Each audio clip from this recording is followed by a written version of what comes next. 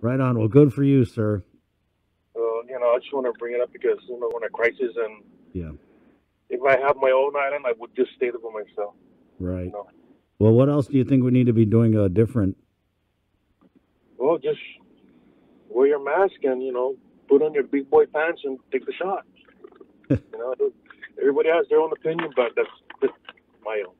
Right on. Well, thank you, sir. You're welcome. Thanks. Take it easy. All right, there you go, 703. Let's go into the Zoom room now. Uh, Mayor Louise is standing by. Guys, you can call anytime, 637 0094. Uh, Mayor, good morning. Uh, good Hi, there you are. Good morning. How are you, Mayor? I'm fine. And you? We're doing um, pretty We're, good. We're doing. we're getting by. We're we're getting by. Um, we're anticipating things will improve shortly. Yes. Did you hear anything, Mayor? Because the Adelup came out at 1.30 yesterday, and they said that uh, there's going to be some new restrictions, uh, limitations involving social gatherings uh, that would be announced shortly. Uh, that was yesterday. This is today. Have you heard anything about what limitations will be announced? Um, no, not right off. I, I get um, you know, just what comes from the Joint Information Center. And um, but no discussion uh, with us. Um, it's just been a very busy day.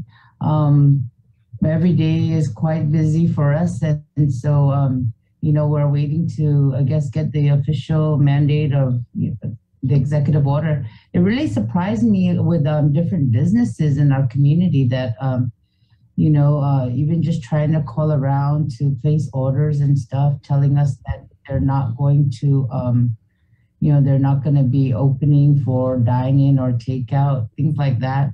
You know, and then of course, um, information um, coming out on social media. You know, uh, different uh, letters from businesses. You know, it's it's sad to see. You know, everybody uh, heard that places closing down Yeah. you know, um, because of, you know, not only uh, because of the pandemic, but the, you know, the executive order. And I also saw there was, uh, I don't know, I forget which business, because really there's so many, but there was one business that had put something out on their social media and it was along the lines of, there's just too many positive cases out there. Yo, we're going to chill and only do takeout.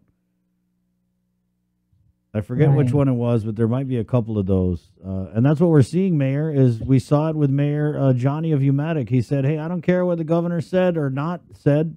Is more importantly what they're not saying he was going to limit the gatherings himself, his own self. He said, I'm going to do it. We had GHRA saying we need to go down in our occupancy. We need to limit the social gatherings, right? So, what are they saying in your village, Mayor, about this surge? Week four of this surge 147 positive cases last night, 32 in the hospital, seven in the ICU. What are the people of Tatuha saying to their mayor? Well, I, you know, um, a lot of pe- them are uh, saying, you know, um, you know, we got to do what we can to stay safe, and you know, um, pleading for everybody to get vaccinated. So, you know, if they do co- um, contract the the you know the virus, that it wouldn't be so bad. You know, that's supposed to help them. So, um, you know, just finding out too that a lot that are hospitalized are those that are not vaccinated you know there's a lot of people that have uh, their opinions and they're entitled to it you know so um you know everyone we just need to do what we can to stay safe and you know continue to you know to pray on this. I mean you know there's a lot of uh, things we cannot answer. We cannot see this virus. You know even with um me and our, our crew here you know we, we still need to cut the grass direct traffic do escort you know um, you know, uh, offer or service to the, you know, the for the office and stuff, doing verification. So we're just, you know, um, continue to to talk to everyone, to mask up. You know, there's people around you, even if you're outside, just put on your mask. You know, I I'm here by myself, so I'm without yeah. a mask. I know, Mayor. But I, I have my mask right here. Mayor, talking about masks, though, you heard that caller about uh, Home Depot. Did you investigate that? No, I am sorry. I'm not aware. I love to go to Home Depot, but I, I have not um, been there in a while. Yeah. Um, uh, is there Uh, some guy called in and said, "Oh, they don't. You don't have to wear a mask in there." So I don't know, guys. Whatever, if you can. Okay, no, What I have not heard that. I just know that everyone um, is being told to wear your mask. Yeah. Um, no matter what. The only time you should be able to remove it as if you are actively eating or drinking. But then, you know, Or you want to keep distance from everyone else. Yeah. What about the schools, Mayor? Uh, we know that there was a positive at St. Anthony, um, and just these these positives from the private school side. Uh, more so because it's a bigger population, obviously, on the public school side. Sixty nine cases now. GDOE. What are what are the parents in your village saying about their school aged kids? Well, you know, um, this virus does not discriminate whether you're going to public school or private school or, or just anywhere else. You know, even in the home front, it's happening. Um, people are contact, um, you know, are, are catching this disease and, and, you know, it's scary just being even in the workplace, you know, you think that, um, we're all safe, but, um, you know, we don't know what all the others, uh, other employees are doing when they get home or who they're in contact with and then they come back to work. So with parents and out in the schools, a lot of parents are worried and you know because you know they're going to get in trouble they don't make their kids go to school but then you know look how fast these these students are catching this and you know um, especially for those that are unvaccinated you know we have uh, the elementary school level I have uh, parents that have approached me about that, you know, um, you know, from what what they're seeing and what their kids are telling them, you know, that it's not safe. And then um, these kids that are healthy, they go to school, but then they they come back home where the parent could be, um, you know, have cor- comorbidities, you know, where they're uh, diabetic or they are cancer patients or you know what have you. So there there's a lot of worry and people i know um, a lot of these parents are trying to find ways to make their children go to school online they want to bring that back you know but um, i know there's different issues with uh, our students i have there's some of them here in Tamuning that they were not able to um, do online school um, so in order for the, you know because they have parents that are ill um, they were able to get into Ocean View, you know, so um, uh, they're going, they're able to go online, but to, you know, a school down south and not, you know, their, their designated school. So, you know, um, we continue to reach out um, to uh, GDOE to, you know, to see, you know, um, uh, you know, how we can assist in different ways and, um, you know, to, to help make things safer. Now, you know, every day we have really heavy traffic from the schools. Um, you know, we have uh, JFK and Chief Brodie on Route 1. Then we have um, Tamuning Elementary and LBJ um, on Route 14, Chalan San Antonio, and then also with St. Anthony School. So it's a really busy, you know, area and, um, um, you know, even with like the personnel that we have out there, I mean, there's there's you know like issues with um, you know parents parking and then trying to get down to go and pick up their child and go you know um, or even just to drop off you know things like that and so you know they're coming in contact with our people you know the, um, you know just walking on the street so you know it's uh, again um, we ask everyone to just respect each other you know keep your distance wear your mask and um, if you are coughing or sneezing, stay home. You know, if you're feeling sick, yeah, uh, you know, just um, um, you know, try not to be near anyone or go anywhere where you know you may affect other people. Yeah, Mayor, so um, everyone's concerned, and Yeah. we're worried. We're worried about this because we can't see it. And so again, we plead for everyone to, you know, do your part, do what you can to stay safe. what do you think we need to do, Mayor? Um, if you were governor for a day, what type of like limitations or whatever would you put in place? Well, again, everyone, um, you know, is entitled to their opinion, and Yeah, this is and, just uh, her opinion, guys. It's just her opinion. Okay, nowadays people get in trouble for voicing their opinion, so this is the mayor's opinion. Go ahead. Well, yeah, I mean, it goes back to, you know, like the beginning. I mean, where is this virus coming from? And, you know, um, with all the restrictions, I mean, they're saying, um, you know, a lot of people have approached me about uh, the quarantine.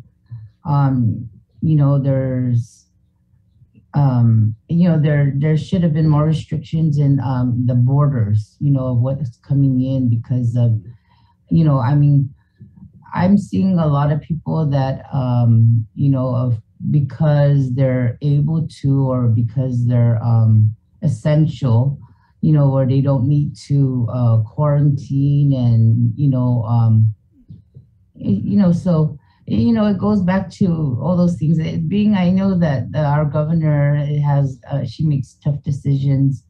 And um, likewise, you know, with us, uh, you know, I, I don't know where it's coming from, and I, I just want, um, you know, I, we, I, we need to be more stricter about, about those that are coming in because you know you may be appear well that first day, but then after four days, you know, you, you know, you find out, oh, you have, Yeah, you, you have COVID, and then, um, you know, all the people you were, um, you've you've contacted with, you know, been in contact with. It's just, you know, you you never know.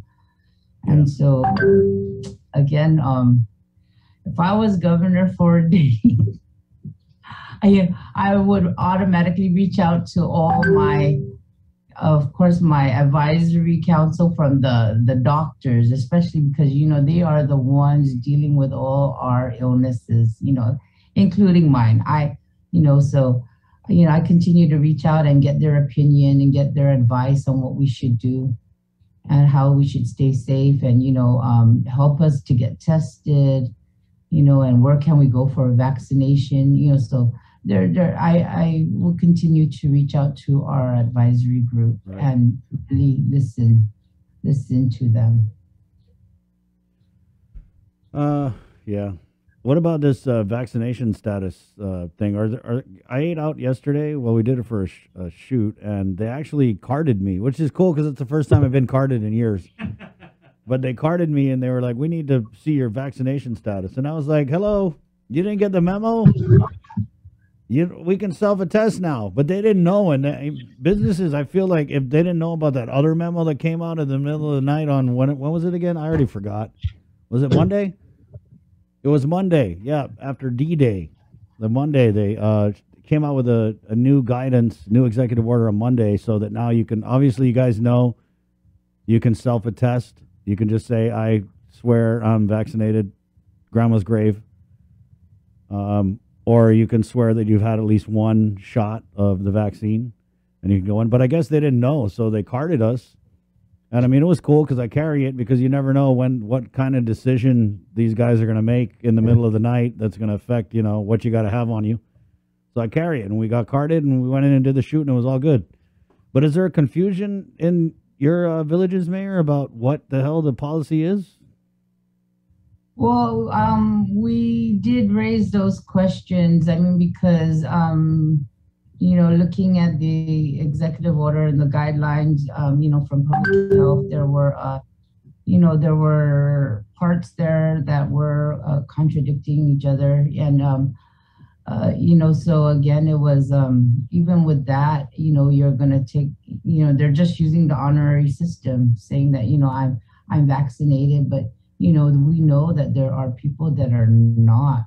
And, um, um, you know, uh, so with all the gatherings now, and I mean, they can say, yeah, I'm vaccinated, but they're really not, you know, so, so it's a problem. I mean, they, you know, either they are going to have everyone produce their car because, you know, when this mandate came out, um, we even us we were going like crazy trying to find ours because you know we had our with me i had my vaccination ever since february um but um you know we, i didn't think i needed to carry that around or laminate it or you know. So uh, I'm just thinking I'm gonna need it when I travel if I should travel.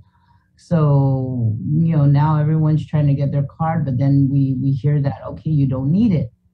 So so anyways, um you know um, good luck. I mean, you know how things go because you know that's why I say just stay away from. Don't get too close to people. Continue to wear your mask and sanitize, and you know because you never know. People will say yes, they are, and they're not. Yeah, yeah, it's honor system. I had a friend whose wife is pregnant. She went to go get takeout at a local restaurant, and they carded her. They asked her for her vaccination card for takeout, and of course she was like, "I'm not going to do this," and just left right? So that was Monday. Um, things have kind of changed since then. But Mayor, let me ask you about this vaccination clinic, Forever 21. Uh, you know they're opening up the. Did you know they're opening a vaccination clinic at uh, GPO Forever 21? No, I know that they they have it in different places, but um, not in particular. I mean, you know, I haven't um, worked with the GPO management on that. Yeah or you know um, any discussion i did was not brought to my attention. Oh it's totally ready. They got the tables and the chairs and everything in there. But do you anticipate that's going to bring uh, more traffic and just i mean busyness to that area? Um, uh, yes it will bring more traffic. I know that you know we we've seen i've seen um, you know the traffic at the micronesian mall.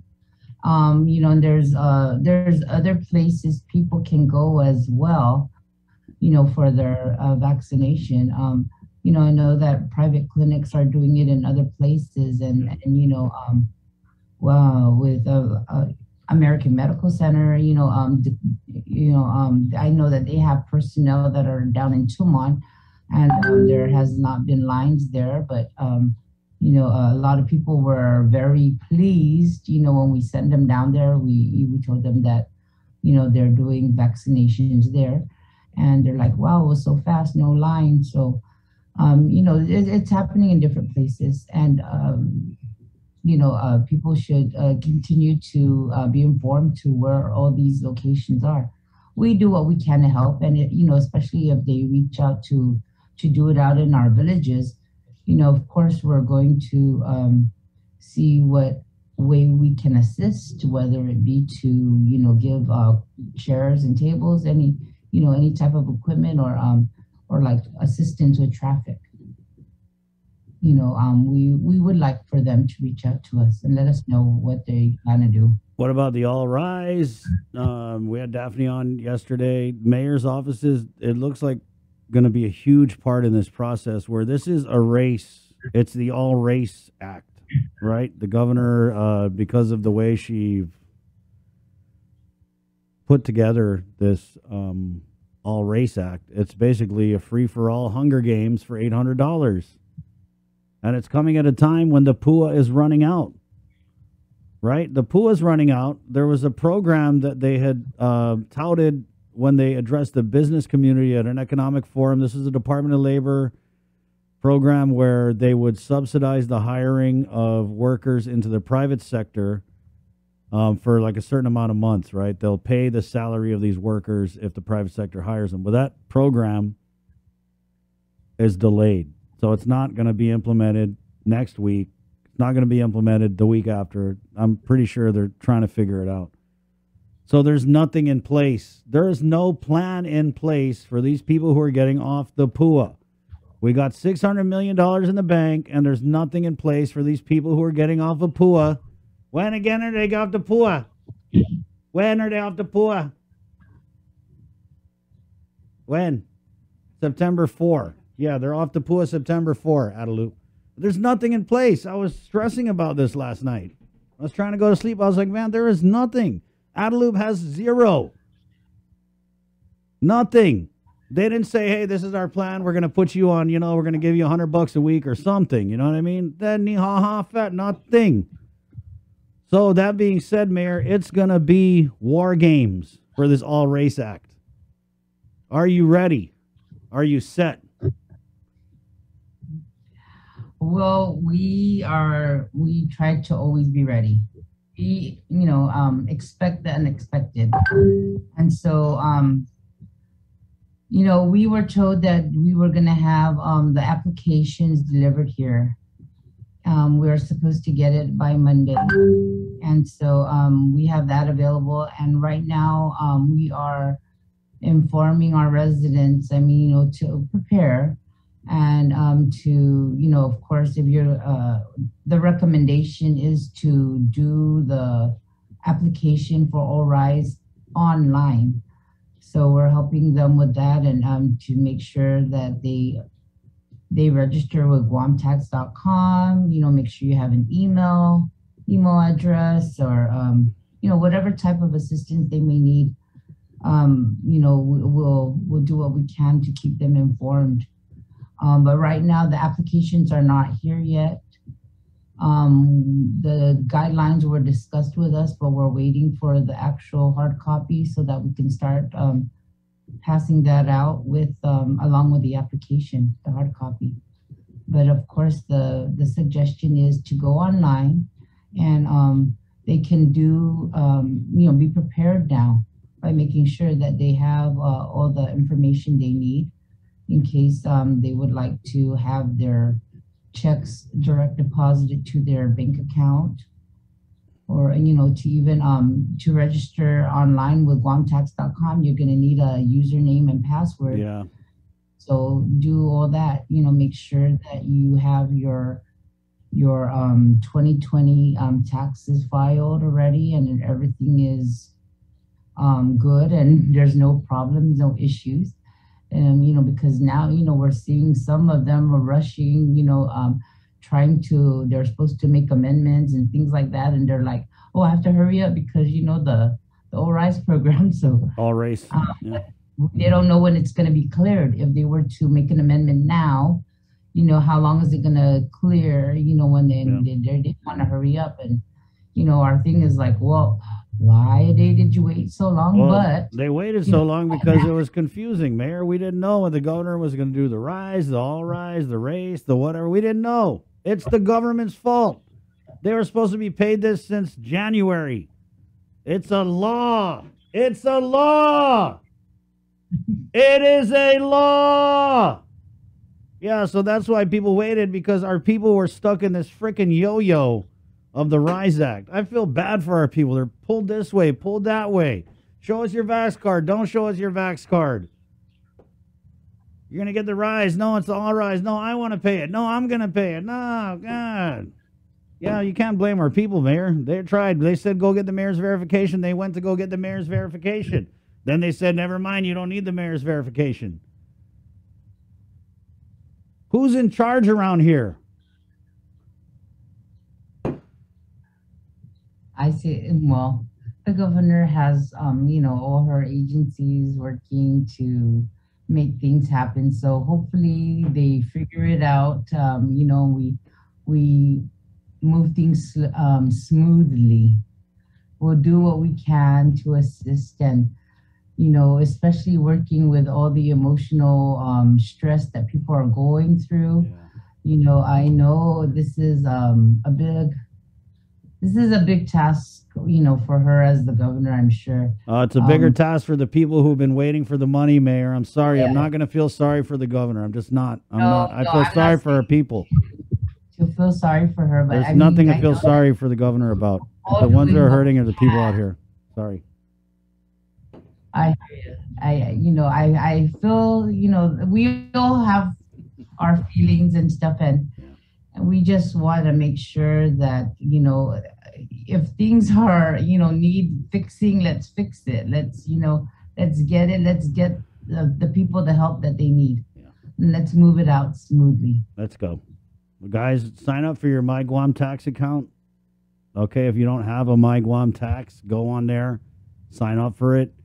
If you haven't filed, you're a non filer, you're some of the poorest people on our island.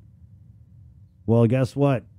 If you didn't file, you ain't getting nothing. So you got to go and file and you got to do it so that it's processed. So you got to do it online or you got to do it in person and make sure that they process it. But you know, when you do it in person, they throw it in a pile and then someone looks over it. Daphne says if you file it online, it's butter boom, process. So you guys got to do your part. Mayor's right. The time for waiting is over. It's the race. Guys, you know when you turn on your car when they say, get ready and the light's red and everyone's like revving their gas? That's where we're at right now. We're just waiting for the light to turn green. And then it's all race for $30 million to the death. Hopefully no one dies. Jay? Yeah, we're gonna have to do a, a fair amount of like online browsing like today. So like as you said, download the COVID alert app. Go grab that from your app store. Go on to myguamtax.com if you haven't already registered, and then if you are receiving unemployment assistance, you have to register with hireguam.com. Yeah. There's that too. Yep, guys. So just do your part. There's a lot of registering to uh, do. Thank, thank you, Mayor, this morning. Anything in closing you want to add? again, you know, uh, I just plead for everyone to please, uh, drivers, motorists, you know, there's a lot of kids out there that are walking to and from the bus stop into the school. and then also, you know, your pet owners, uh, please keep your dogs tied up and, you know, so, because right now that that's a, you know, we're getting so many calls and complaints about loose pets, you know, out and about. And, um, you know, even as you know, pit bulls, but they still have a leash on. So maybe the owners are not knowing that their dogs are getting loose or running out of their property. So um, please mind all the, you know, the students and um, people that are out there walking. Stay safe, do what you can, keep your distance, and um, you know, uh, give us a call if there is any need or you know um, that you may have out there in the community. If a street light is out or something's on the road or you know anything, you know, we're open to um, receiving calls from you anytime. Francis? Thank you. Thank you, Mayor. Here, everyone, be All safe. right, there you go, Mayor Louise Rivera, getting ready for the All Race Act. Uh, it's seven twenty-nine. We're gonna take a break, and coming up next, he's a good friend of the link. We've turned to him for a lot of advice over the course of this pandemic. Uh, we found out yesterday afternoon he will no longer be privileged enough to advise the governor. We're talking about the former chairman of the Physicians Advisory Group, Dr. Hoa Nguyen, and he is coming up next on the link. It's 7:30. Good morning. The KUAM Podcast Network is back and on demand, featuring a great variety of podcasts from our island and region, including culture, lifestyle, awareness, crime, politics, commentary, comedy, and entertainment. Available on most streaming platforms. The KUAM Podcast Network. Subscribe and listen now.